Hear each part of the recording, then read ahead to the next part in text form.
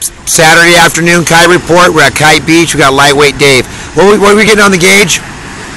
Uh, earlier we had uh, 12 to 15, and now we got It's probably 15. 14. Yeah, 14 steady. Steady 14.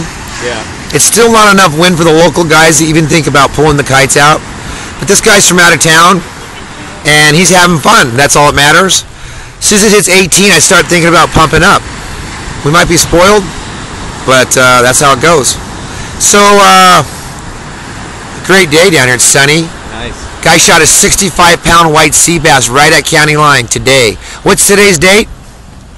What is it? Uh, It's the 19th, 2 p.m. Secret spot. Can't tell you. And that's it. We'll check back tomorrow morning, Sunday. Let the force be with you. See you in the water.